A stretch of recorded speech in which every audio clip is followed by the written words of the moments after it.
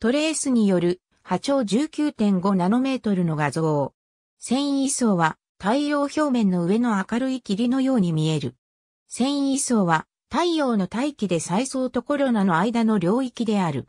紫外線望遠鏡を用いて宇宙から観測することができる。いくつかの無関係だが重要な繊維が起こっているため、重要である。ヘリウムのイオン化はコロナの形成に必須なため、重要である。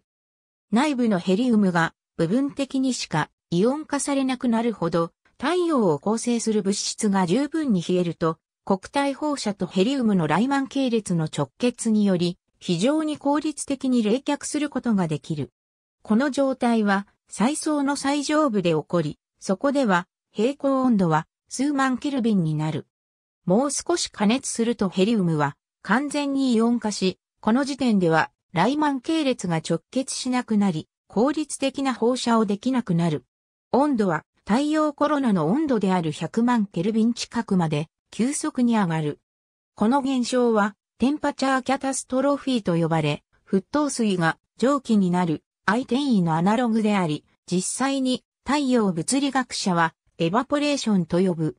同様にコロナの物質に与えられる熱量が少なくなると数十万ケルビンまで急速に低下し、コンデンス度と呼ばれる。繊維層を構成する物質の温度はこの温度に近い。